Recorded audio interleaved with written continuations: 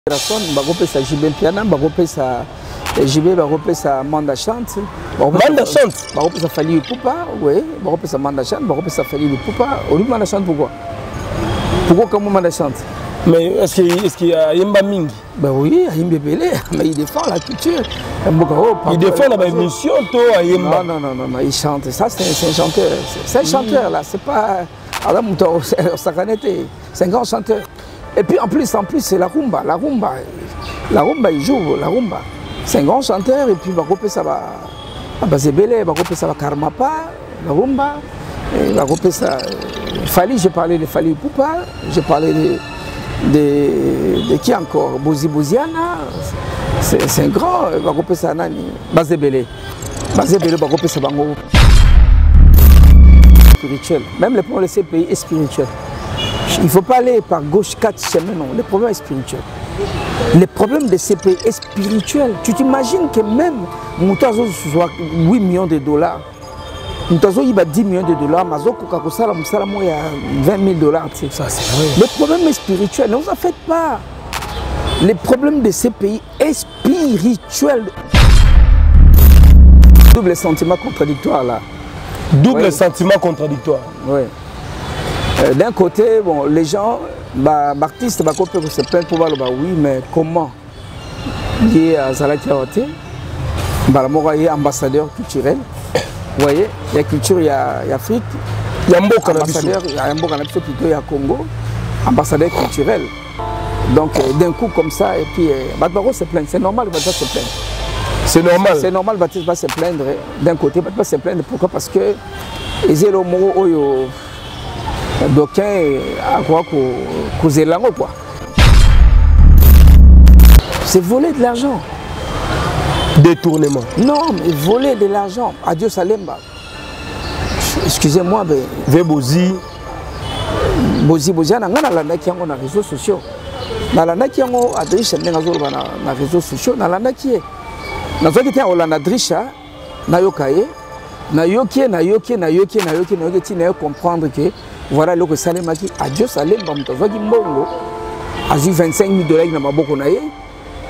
esengelaki ye azwa aoriente yango ndenge esengeli mais oriente yango te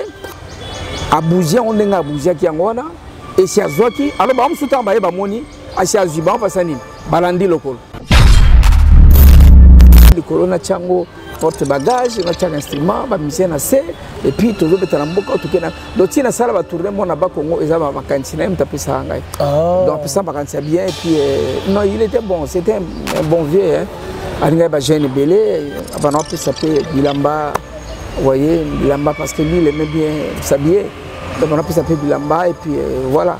aza vie moko aza malamu donc oyebaki defa opena très bien très bien nayebi opena bien ko owa oh, très bien hmm. toyebani bien bien bien bien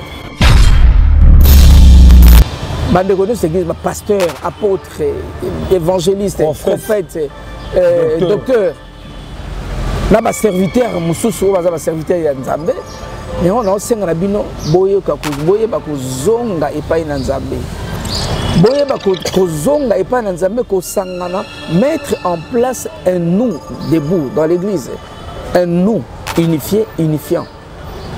Un nous là, c'est ce nous là qui va ramener la fonctionnalité dans ces, dans ces pays. esika oluka soki soki nini te ezali yango wana donc solution ezali kaka koyeba kokoma esika oyo nzambe alingi biso tokoma c'est ça la solution pour ces pays omona bato bato bakolela ebele tu sais hein, à tout moment que Israël atambolaka na banzamba bapaya eh, mabe ekotaka makasi mabe ekotaka makasi mabe makasi bato basufraka biso osufri te biso tosufrir te bato bakoloba ti bokomata lelo ti suka nango soki tozongi na makolo na nzambe te rien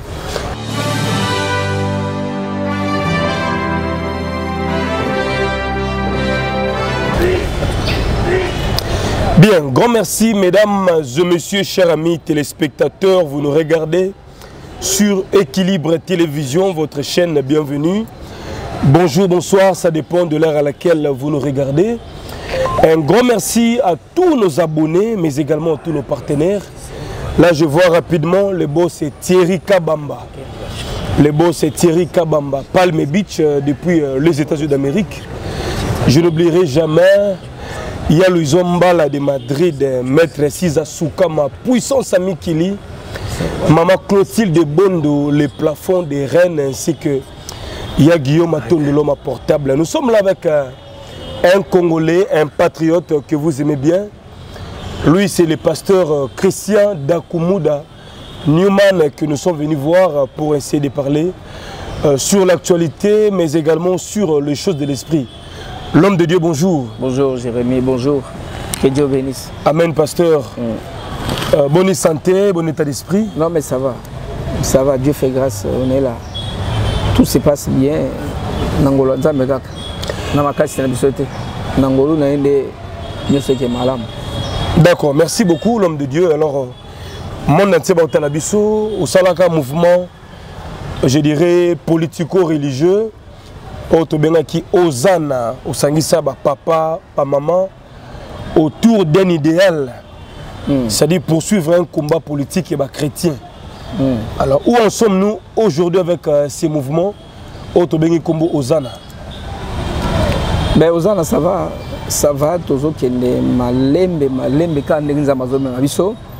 tozoke malembe malembe ka ndenge nzambe azomema biso mais jusque là je pense que ça va ezokende bien badesio ebele oui badesio ebele mm. badesio eza continue toujours badesio et puis euh, eloko ya malamu eza kaka na ozana eza ke nzambe azosala makambo ndenge ya lingala salela eno nde biso tokanisi parce que biso totambolaka na, na, na, na révélation omoni ozana ezali ezali te euh, comment dirais-je euh, ezotambwisama te na, na makalkile ya bato oui tozotya mayele na biso me kasi toza toujours révélé nzambe azomema biso na ndenge azomemela biso mpe totoki ndenge nzambe alingeleli donc eloko oza malamu yango wana donc euh, tout va bien non jusque là ça va ça va ezoke bien ça promet badécision déjà ezofungwama bozala surpris bozala surpris ah ben oui je vous dis c'est vrai vous allez surpris bato bazela yango te mais ezala ndenge wana esalema ndenge wana bato bazela yango te mais esalema ndenge wana bozala surpris d'accord ça c'est bien entre nous oza mpe pasteur nzambe alobelaka bino tantôt d'une manière tantôt d'une autre na barévélation mm. na basonge et autres est ce que tant que un homme de dieu quelles sont les révélations nkolo apesi yo na batango mpo na peuple mpo na nation mpo na bapasteur Ou bien Nzambe na lobi loko te pendant 2022. Non, jusque là Dieu dit toujours qu'il faut revenir à lui. Il faut revenir à Dieu. Tout ce qui se passe dans ces pays aujourd'hui, la prise de conscience de notre identité divine est à la base il y a réussite il y a mambo ya mboka oyo. Bato bakomema mboko na nde balima memela wana loyenge nyonso bamemela yango esimba te. ekosimba kaka soki tozwi conscience ya identité divine na biso qui sommes nous nous sommes des chrétiens oui nous sommes des chrétiens comment devons nous nous comporter en tant que chrétiens oyo oh, nzambe apesi yango wana tozali banani toyeba mpe toya banani mpe tokotambola ndenge nini mpo ete tokoka kokóma na esika oyo nzambe azozela biso la solution ya mboka yango wana eza yango te esika oyo oluka soki soki nini te ezali yango wana donc solution ezali kaka koyeba kokoma esika oyo nzambe alingi biso tokoma c'est ça la solution pour ces pays omona bato bato bakalela ebele tu sais hein, à tout moment que israel atambolaka na banzambe ya bapaya eh, mabe ekotaka makasi mabe ekotaka makasi mabe makasi bato basufraka biso osufri te biso tosufrire te bato bakoloba ti bokomata lelo ti suka yango soki tozongi na makolo na nzambe te rien nzambe nini ozolobela nzambe bayindo oyo tobengaka mvuluzi simo kimbangu je parle de dieu non même simo kimbangu simo kimbangu azali prophète ya nzambe oyo ngai nasambelaka azali prophète azali vrai prophète ya nzambe oyo ya lola nzambe ya abraham isaac mpe jacob ye wana nzambe ya simo kimbangu ye mpe nzambe na christian donc voilà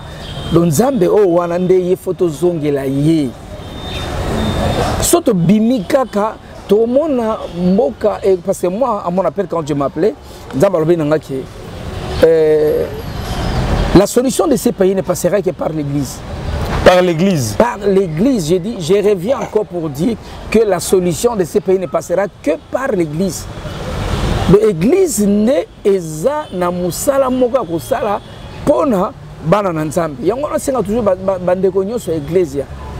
bandeko nyonso ya eglise bapasteur apôtre évangéliste prophète euh, docteur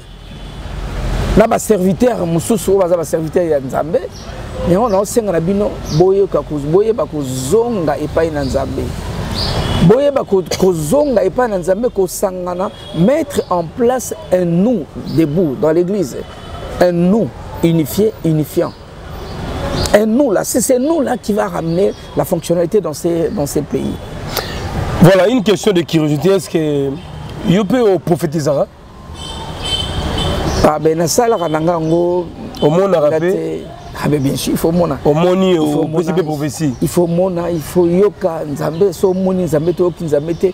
mais eza mobulu il faut yoka nzambe il faut mona nzambe mais est-ce que oyebi ke manière tantôt dit non oyebi ke na bonzambe mpo ozwa succès il faut okoma mpe okoprophétise il faut okoma mpe na force ya délivrance omonaki francis joel te azoteya na église en plein culte alobi ke eza na serre moko awa nzambe azo nasanaki azalaki na, na hotel moko na bandal mp chambre 26 on azalaki couleur noire en plein culte bato ba ebele omona badimension bango bakomi nango jérémi loyemba tala ah, niveau makambo oyo ezolukaki paster eza oh Non, mais ça, c'est pas Dieu. Hein? Parlons de choses, disons les choses n'est pas Tes une dimension spirituelle, papa. Non, non, non, c'est pas une dimension spirituelle. Ça, c'est aventurier. Vous savez, moi, personnellement, ma question, on a, nga ba question na okoyaka nango mpo te parce que nga nauti na mokili eh. nauti na mokili alors aujourd'hui je me suis détaché de ce monde là pour euh, christ tu vois mm. alors komona so baventure ya ndenge wana esalanga mpasi nga esalanga mpasi odo oh, bajanga baprophétie eza baventure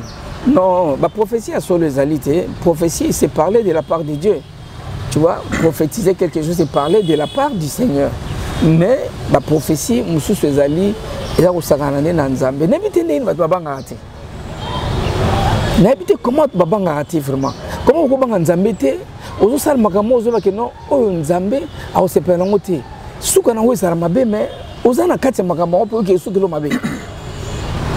esukelo mabe makasi esukelo mabe makasi parce que wana eza biloko eza biloko na nzambe te oh. non non non non d'après connaissance na yo non non non ça eza wana wasi eza ngoma nzambe te est ce que nzambe c'est là que dieu nous attend nzambe azozela biso mpena na makambo wana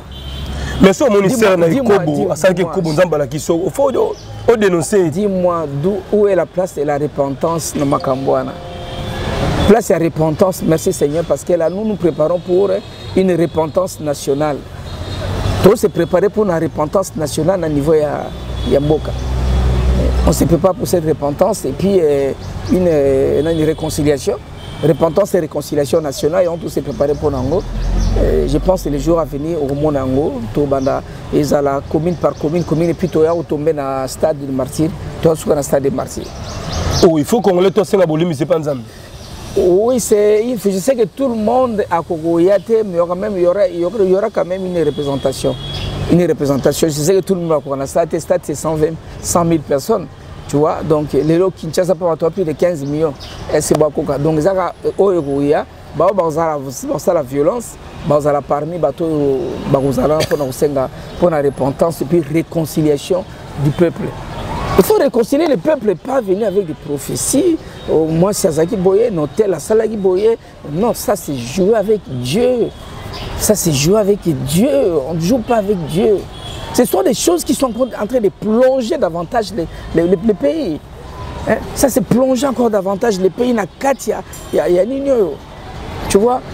ah non ça c'est moi je, ça je n'accepte pas ça, je n'accepte. Non, je n'accepte pas cela parce que ce n'est pas Dieu.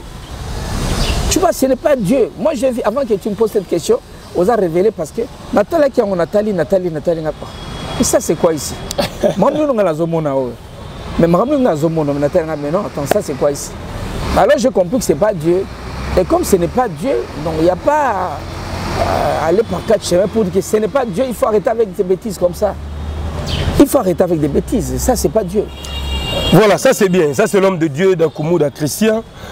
alors mais na mboka yango kotala évolution ya bapasteur oza même d'accord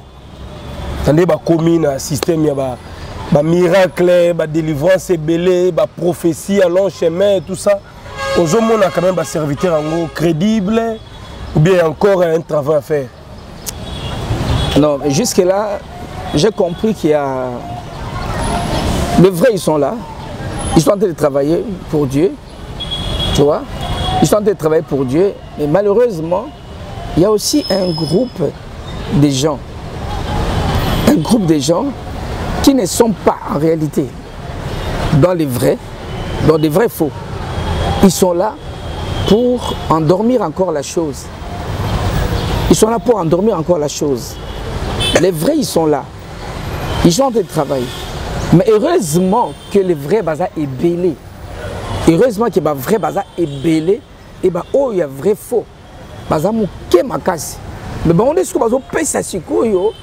comment dirais-je bazopesa image image makasi bazovéhicule makasi image ya mabe ya église na makambo ya mabe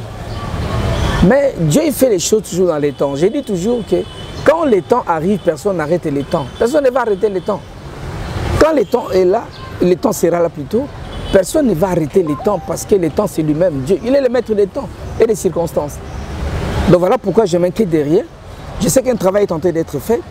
et okende nango malembe malembe malembe malembe malembe ti ezozwa place problème ezaka topesaka nzambe place na ye na mboko tomona mambo echange na minute espérons voilà merci merci à claude bila depuis l'atlanta mama espérance asutu la mère des archanges na belgique euh, pico kiedika songo motema muriel bantu merci également Aya Luizombala de Madrid, Aya Luizombala de Madrid, le vieux Batom et Maman Lami Bekantoy à Londres. Gérard Saddam, bienvenue à Kinshasa. Gérard Saddam, mon vieux. Alors, pasteur, c'est vrai,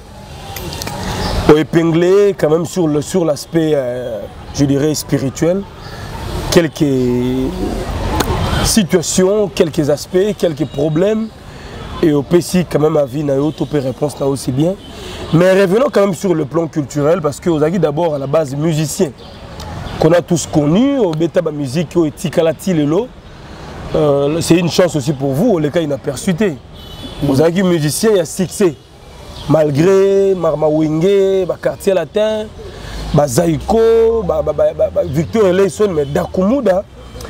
na c'est quoi quoi euh, le, le, le nom du mouvement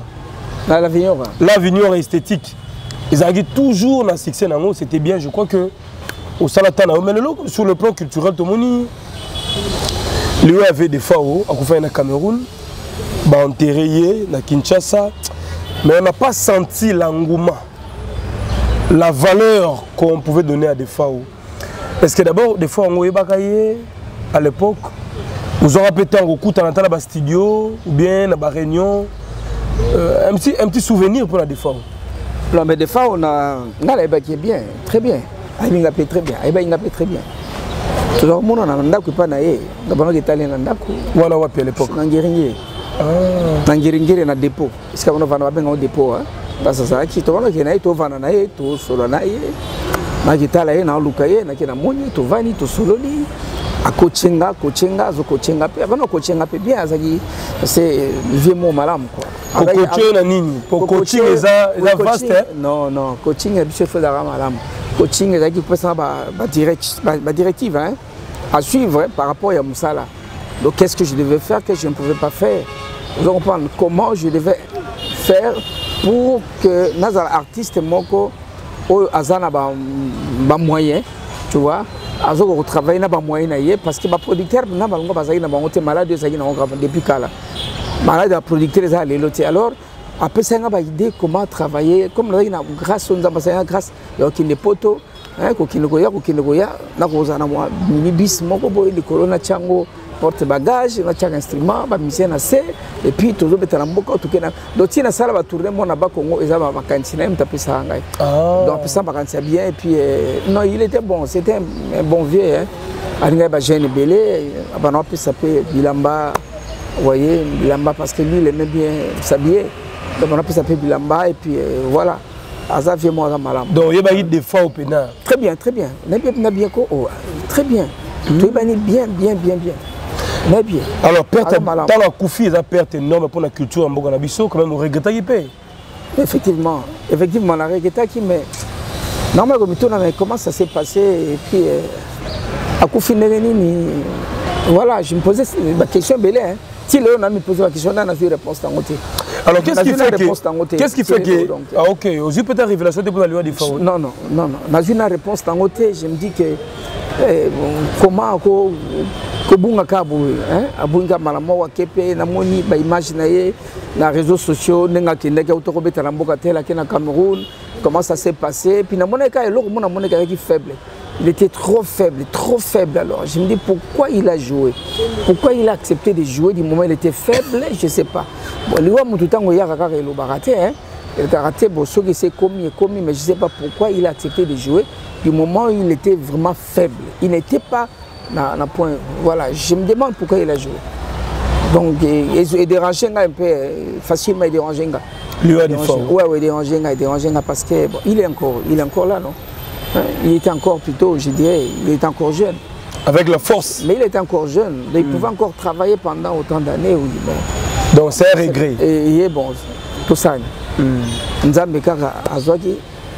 nzambe apesaki mpe nzambe azwi personam lokuma ezonga epa na ye voilà ça c'est bien des fois est parti personam hein, je crois que et atiki famille na douleur na tristesse mais mbongo na ye enterrement oyo le gouverneur gentini ngobela apesaki na délégation bafe bozi boziana bashaka congo adios euh, le vieux adios et puis ba ba, ba mère Mbilia Belle ba na kata équipe wana et y compris d'autres artistes aussi il paraît mbongo wana et s'est volatilisé 25 000 dollars famille est même pas 50 dollars alors ce genre de trucs ce genre de pratiques matanga na Congo ya star ya célébrité comme fond de commerce ça fait peur ekomi opesa na mpasi na mawa ntango oyoki déjà ke bavie lokola badios bavie bozi bamambila bele bamanda bachaka congo tout ça na kati ya comité moko bazwaki 25 000 dollars mbongo elimwe yo mpe tant qu'artiste d'abord esalo d'abord ndeni non mais c'est pas bon hein. ce n'est pas bon c'est pas c'est pas c'est pas vraiment bien je pense que c'est pas comme ça qu'on doit se comporter et je pense qu'il faut changer même la, que l'État puisse prendre les choses en main. Si l'État pouvait prendre les choses en main, gloire à Dieu. L'État doit intervenir comme ça a été le cas dans le Cameroun. À une période dans le Cameroun, eh, l'État eh, a récupéré makambo nyonso a placer bato esenga na placer moto moko mibale ba gérer yango ba professionnel professionnel a gérer yango a gérer eh, ndenge ezali directeur général hmm. directeur général na directeur général adjoint point barre point barre euh. pendant un temps oui c'est vrai c'est votre truc à vous mais l'état aza l'état akoke likolo na yango avion pendant un moment donné pendant 2 ans 3 ans 4 ans 5 ans 6 avant na nsima sa nini aye kozongisela bino nino parce que bapratique wana oyo ezosalema wana koyiba mbongo c'est voler de l'argent détournement non mais voler de l'argent adieu salemba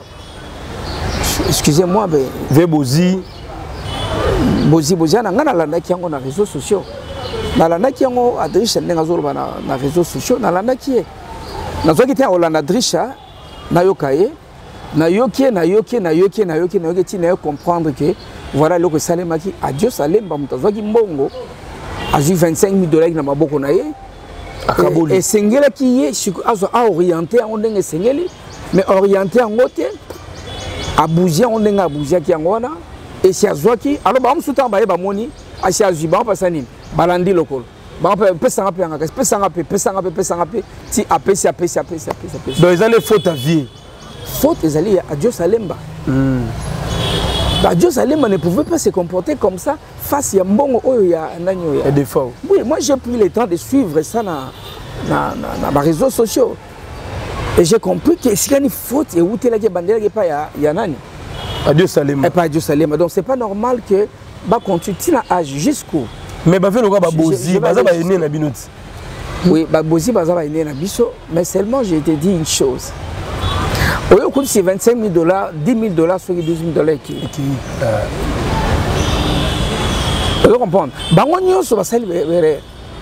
mais seulement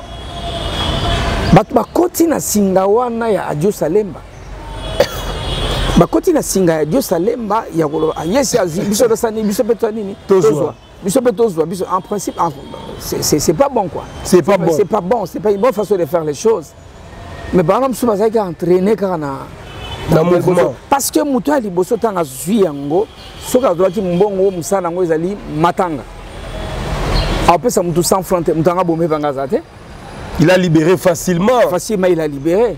apesi moto te abi bon moto oyo moto moko azwa mbongo aza te parce que mbongo ezali mbongo ya, ya matanga kombo nango matanga c'est tout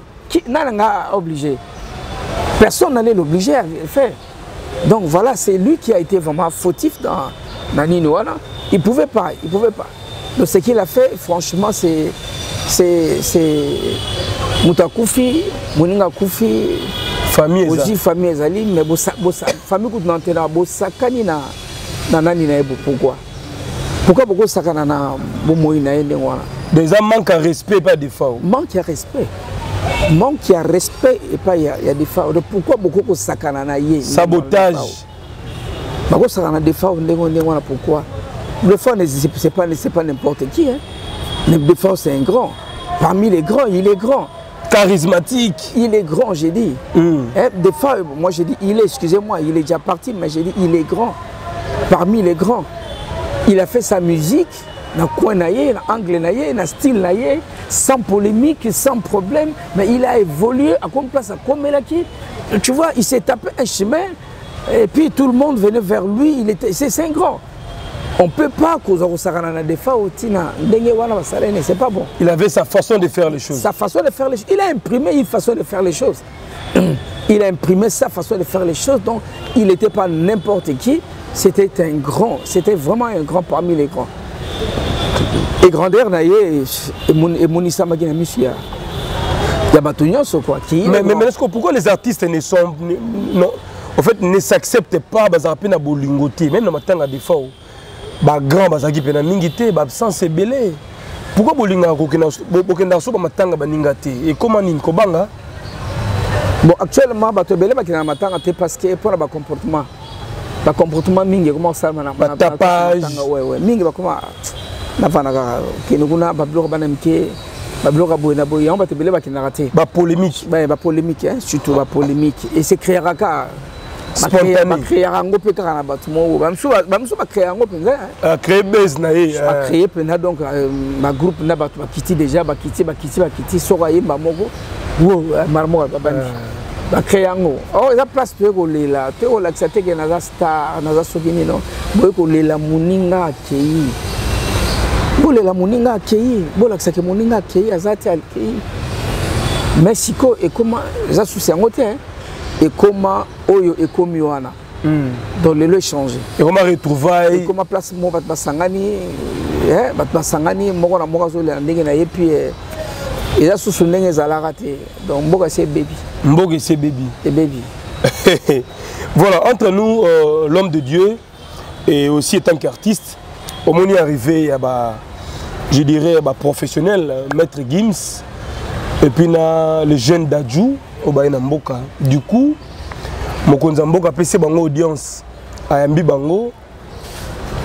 Et après, on a tous entendu que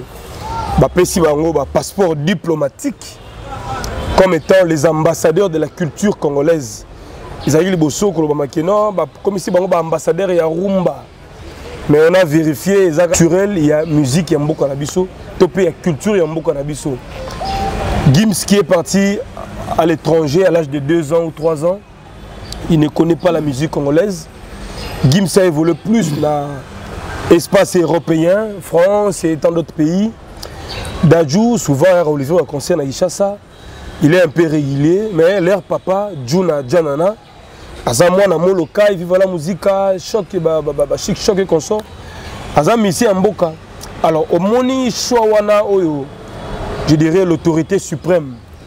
asali ezali erreur de sa part puisque toyoki baréaction bakarma mpo basepeli te bamisi ebele ya mboka babi biso tomonaka mpasi ya rumba awa tozalaka awa ah, babengaka biso baloko balokale lelo la rumba est reconnue comme étant patrimoine mondial et après les étrangers viennent tout tout tout d'abord omoni débat wana autour ya maître gims eh, ndenge akomi ambassadeur ya culture et comment tu l'as appris et puis euh, quelle est votre réaction par rapport à cela bah, maître gims na na dadju na dadju bazwi ba passeport diplomatique bamibale baza bana ya janana bana ya janana ko janana wa congolais oyo kaka congolais ah janana wa biso oui le vieux juna juna ko baza mpe bacongolais ti lelo gims na gims asengaka asengaka asengaka nationalité française mm. plusieurs demandes mais la france refuse mm. donc en esprit alobaka ke il est français parce qu'il ne connaît pas le congo mm. mais une fois ye kaka na congo akuti baautorité est ce que eza complexe ou bien quoi bakomisa ambassadeur ya culture oyo bino bomoneli mpasi ouais mais il y a un double sentiment contradictoire là double ouais. sentiment contradictoire ouais. euh, d'un côté bon les gens baartiste ba bakoki mpe kose plaindre mpo baloba oui mais comment ye azalaki awa te mbala moko aye ambassadeur culturel voye ya culture ya, ya afrique ya mboka na biso ya mboka na biso plutôt ya congo ambassadeur culturel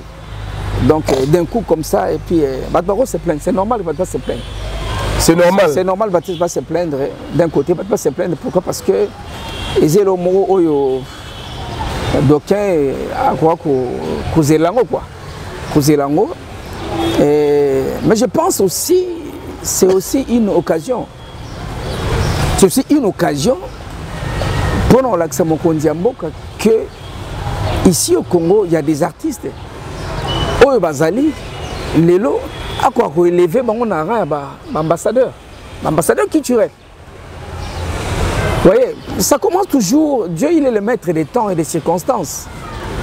il est le maître des temps et des, et des circonstances ça peut arriver na circonstance mo boye circonstance wana esali ke efongola nzela mbala moko ntango mosusu président azalaki nango na motu te mais fongwami ya partir yango bakomi kotala babi bon banani baza na mboka oyo baza ba, vraiment banani culturel baopérateur culturel baza combien baza 1 2 3 4 5 10 topesa bango apesa bango bapasseport eh, ça peut se passer comme mais oui j'ai suivi le conseiller alobi que il y a au moins 6 passeports réservés oui voilà ekozala 12 ekozala mpe 12 c'est pas un problème donc akotala tala bino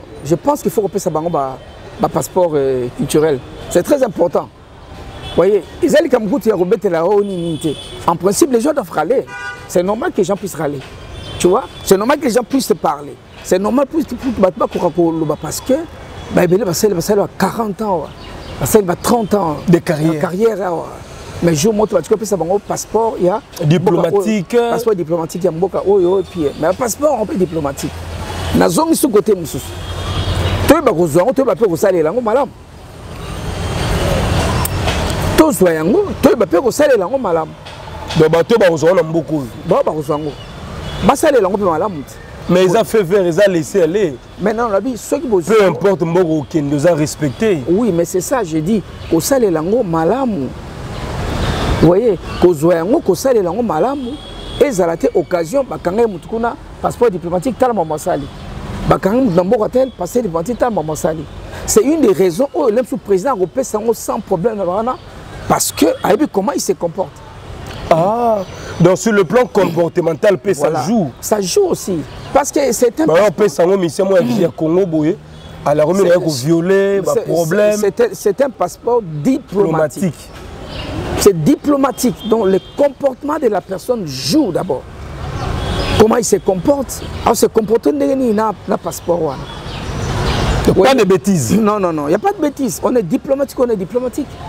on est couvert na nini wana immunité wana on est couvert na banani wana alors il faut se comporter ndenge esengeleli c'est pas n'importe qui non non c'est pas n'importe qui qui peut avoir des passeports diplomatiques c'est diplomatique vous voyez c'est pas n'importe qui akozwa yango mais eza couverture mobimba epekisi mpe te motu oyo esengeli kozwa azwa te oyo nyonso esengeli kozwa azwa yango azo mérité oyo azo mérité azwa yango azwa passeport yango eza, eza, eza, eza compliqué te mais le président d'un côté asalaki mabe te d'un autre côté bato bamoni asalaki mabe voyez Donc, Mais en réalité, il pouvait cette... commencer par d'autres personnes, bah, Gims Baïta Sima. Oui, il pouvait commencer par une autre personne, mais j'ai dit que Dieu est le maître des temps et, et des, des, circonstances. circonstances. Et canal. Ça peut être aussi un canal pour que bato bakota na makambo wana ekozala mpe canal président de la république apesi mpo bato bakota na, na nzela ya ya nino mpo bato bakozwa bapasseport diplomatique alors entre nous s'il faut choisir 3 4 5 artistes ya oyo bazo mérité eh, fierté wana titre honorifique wana ya ambassadeur culturel ya mboka oyo s'il faut faire un choix dakumuda face à la caméra okotanga baartiste nini otali par rapport à leur comportement leur carrière euh, par rapport à, je dirais, euh, leur impact sur le continent, sur le pays, l'ancrage. Euh, S'il faut donner la chance à Bandero Moussousou, même si on s'est effacé, mais aux hommes, on a peine sur le plan professionnel et déontologique tokopesa baartiste eza compliqué te bakopesa werason bakopesa jibe mpiana bakopesa eh, jibe bakopesa manda chante manda chante bakopesa fali lupupa we bakopesa manda chante bakopesa fali lupupa olubi manda chante pourquoi pourquoi okamwa manda chante mais est ce que ayemba mingi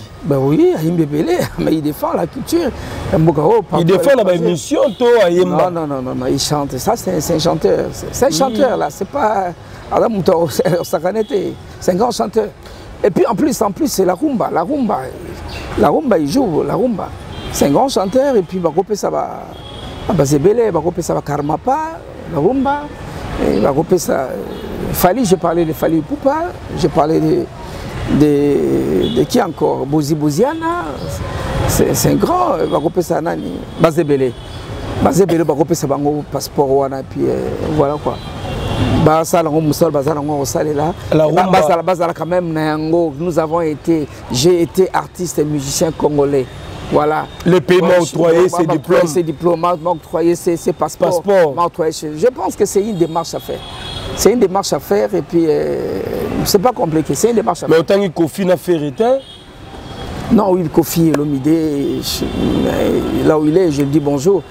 bakopesa kofi olomide bakopesa fer yango nayebi baza ebele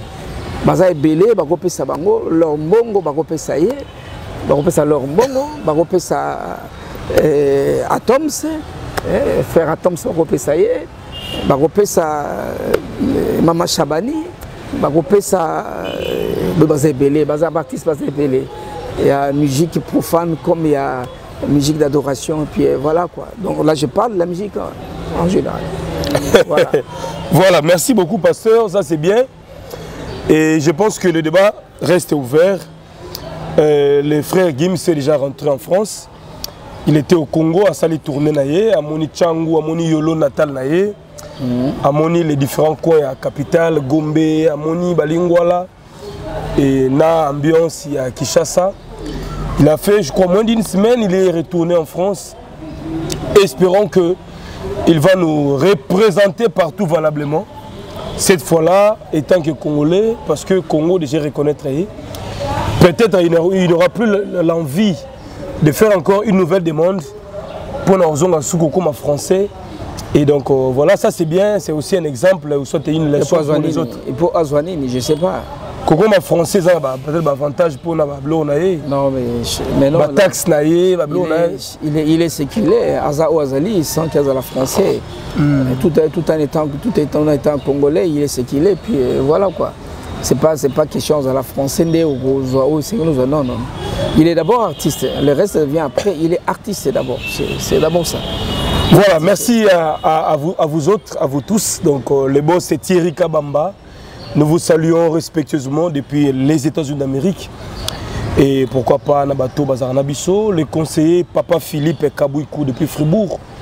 na Suisse-Irlande, le géant de Berne Doucouré Immortel, Doucouré Immortel,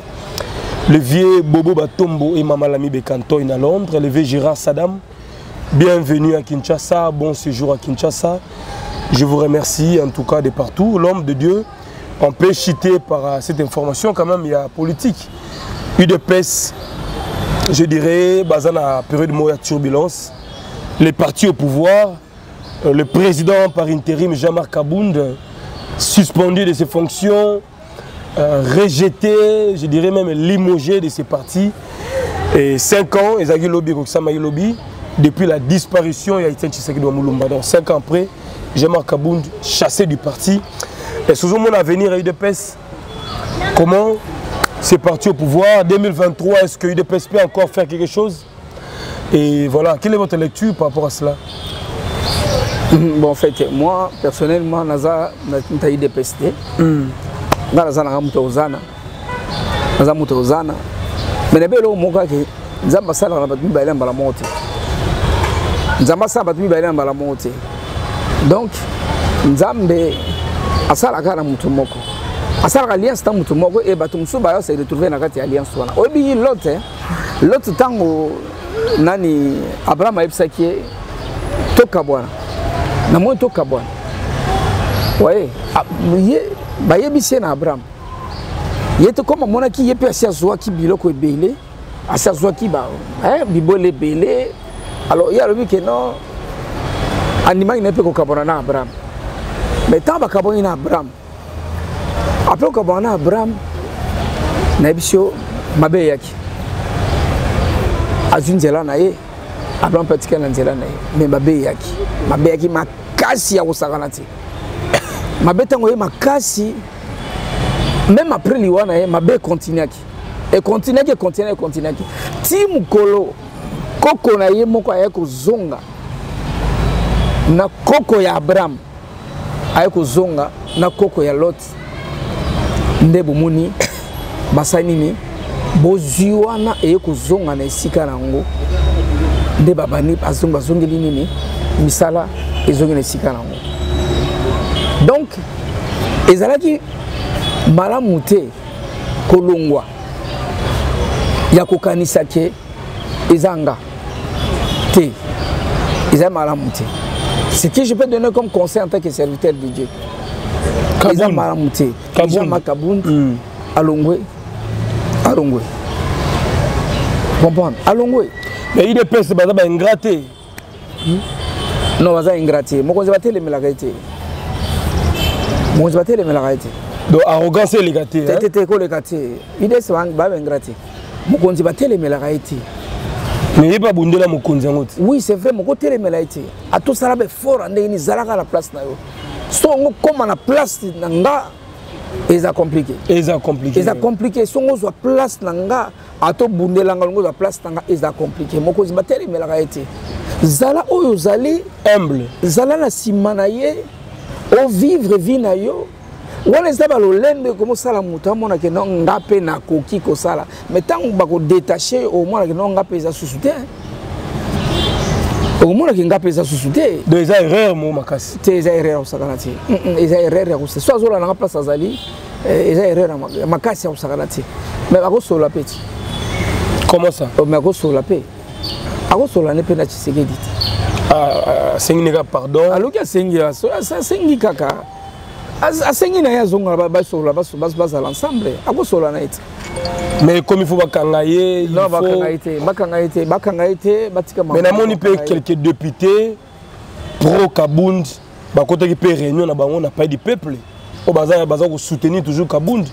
donc eza déjà je dirais éclatement na udps ouais, deuxième camp il s'est créé mais je pense que c'est pas une bonne chose c'était pas bien pensé ezalaki bien pensé te c'était pas une bonne chose ya ko jean-marc lelo euh, asala mouvement na ye ah. c'est pourquoi C'est pour faire quoi avec Pour faire quoi Pour faire quoi Tu es déjà là, vous êtes déjà premier vice-président et Assemblée nationale. Vous êtes déjà au sommet de l'État. Et puis ozo gérer parti présidentiel. Président ya IDPS. Et puis premier euh, vice-président ya Assemblée nationale. Donc c'est ma président Bino. Ma olingi nini? Honneur ezali. Honneur ezali nyonso ezali olingi so nini? Olingi nini? Ah, donc euh, eza na sens te. Ya place te. Asololaka asenga pardon. Oh. asolola asenga pardon bayokana na, na président bayokani asolola asengi pardon namoni oza idps ebimi na kinkambo kuna décision finale bakosala bacommuniqué nous décision finale nous mabe ya congo nde yango wana te mabe wana eza mabe eza malamu te il faut les gens sont toujours pressés non il faut balinga te eh, kosepela kokabwana ya bato bakabwani non non faut baluka basangisa bango bamete bango ensemble tu vois un peu ça et mpo bapesa susu force na, na idps bana besoin te ke eh, bato bakabwana ndenge wana kua il faut bato basangana bazala bomoko bazala bomoko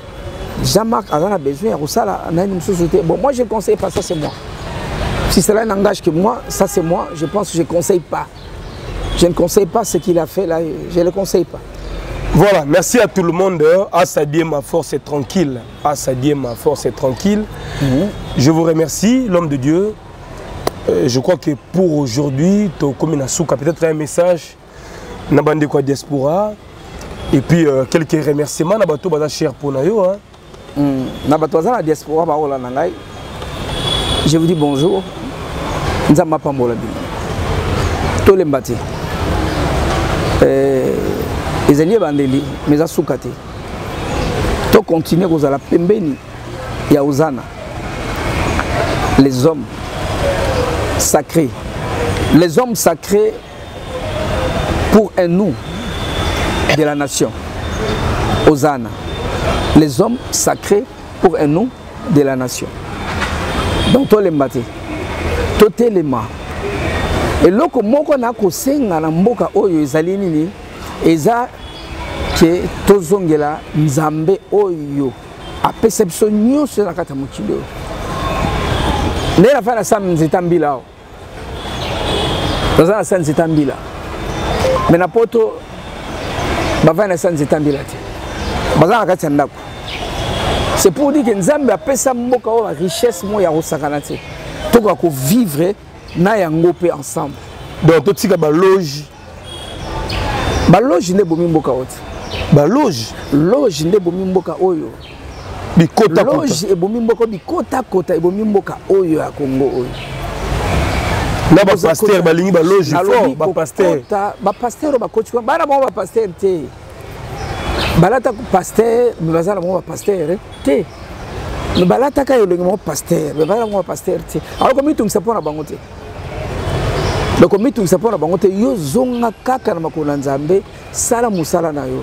totelema ensemble créons c'est nous debout unifié unifiant pour amener la fonctionnalité dans ces pays dans ces grands congo je pense que rien n'est impossible impossible eza te ekosalema mpe ndenge wana mpe ekokisama na nkombo na yesu mais miziki ebimi mpe ebele paster eske ozoka bamisien mpe oyo babiso babetabeta musique yango oke musique eh, nayebi te soki ezala kaka boyokaka bawata te bainonce bi oyokaka bango te musique eh, musique eza ndenge ezalaki su te musique eza su te ndenge ezalaki na bampleur non musique eza su musique te musique eza susu te musique ese ekoti déjà makambo mosu ekoti wana babétise ebele ekodi musique ekomi nga lelo so bapesi nga ka censure nakokota ka censure mpo na na regle ka makambo ezoleka na musique wana de musique eza susu te ekomi babétise les gens se permet de faire n'importe quoi n'importe comme ils veulent facilement comme ça facilement ce sont des choses que nous on n'avait pas fait hein? on a fait la musique mais on n'a pas fait ces choses là babétise non eleki trop eleki trop ya biso kutu ezalaki ta mosusu kode code mais oyo eleki trop ekomi na ouvert ekomi na ouvert na balabala boye bacri ya bétise barumba ya bétise bétise na bétise donc musique eza lisusu te wana eza babétise ezosalema musique mais ntango ata deux artiste oyo oza koapprécie na ntango oyo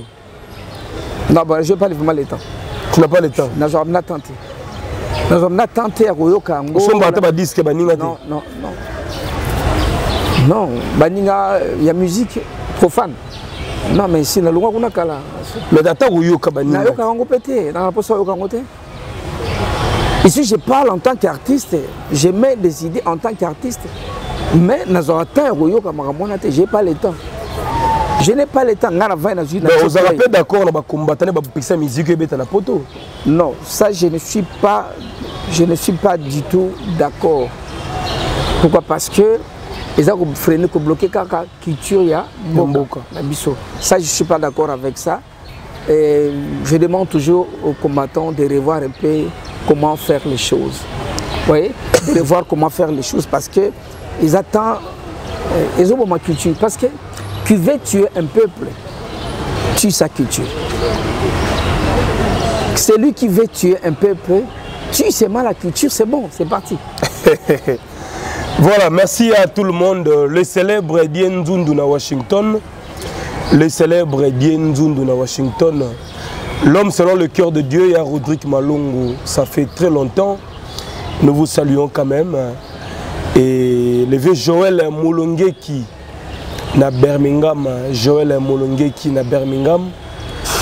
Et on est de cœur avec vous. Maman Fifi Longo na Londres. Maman Espérance à Sout, la mère des Archanges, na Belgique. Maman Claudine Louyeye depuis Kinshasa, notre maman, merci pour le soutien. Maman Claudine Louyeye et maman Sarah Lina Wembi aux États-Unis. Il y a de Madrid, vous a tellement ébélé à nous suivre, à nous capter. À ah, la force est tranquille. Euh, merci à tout le monde, merci à vous autres. On vous aime beaucoup, l'homme de Dieu. Je rappelle que le numéro du pasteur est affiché au bas de vos écrans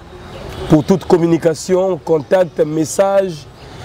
question. L'homme est toujours disponible, hein. n'hésitez pas pour le contacter. Et peut-être aussi pour, pour des prières, hein, papa Oui, les problèmes spirituels. Hein. Voilà.